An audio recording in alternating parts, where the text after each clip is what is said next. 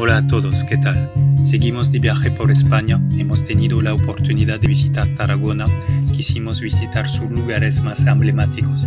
Es una ciudad muy cómoda de visitar ya que es bastante pequeña y casi todos los monumentos más interesantes están cerca, por lo que caminar es la mejor opción y hay un día puedes ver todo. Bueno, empezamos. Primero el anfiteatro romano, para mí lo más espectacular por sus dimensiones y su estado de conservación se puede observar que en el centro del anfiteatro hay otro edificio. Se trata de una iglesia que construyeron los cristianos después de la caída del Imperio Romano.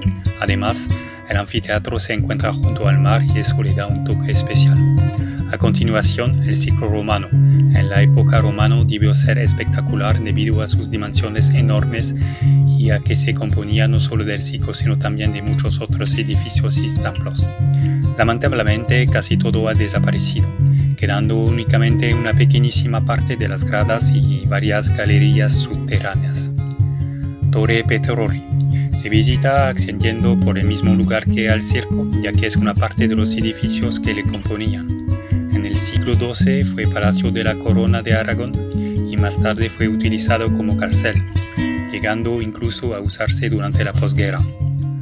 El Fórum de la Colonia, de este monumento también quedan muy pocos restos.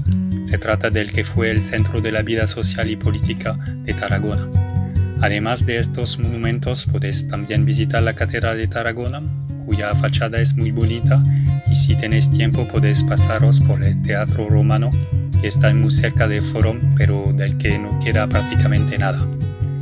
Aquí termina nuestra breve presentación de nuestra estancia en Tarragona.